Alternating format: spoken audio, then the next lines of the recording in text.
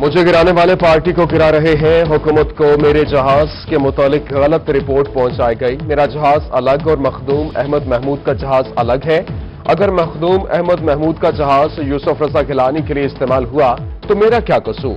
PTI रहनुमा जहांगीर तरीन का सवाल बोले ईमानदारी और खलूस से वजी आज़म का साथ दिया, कभी नुकसान पहुँचाने का तस्वुर तक नहीं किया।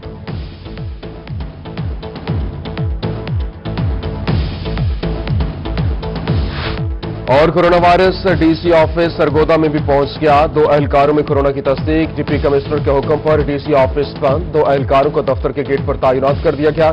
शहरियों के मसाइल के हल के लिए दरख्वास्तें वसूल की जाएँगी।